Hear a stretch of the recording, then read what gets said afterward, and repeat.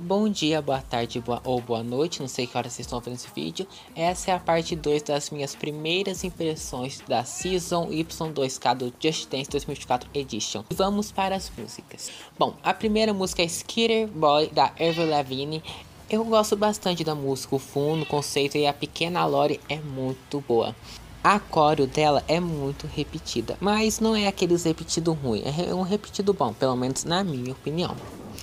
Greedy da Tate McRae. Desculpe é, pela pronúncia.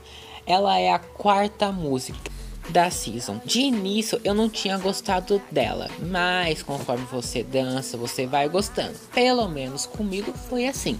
O fundo e a coach eu achei muito bonito, de verdade, eu achei que eles capricharam neles dois.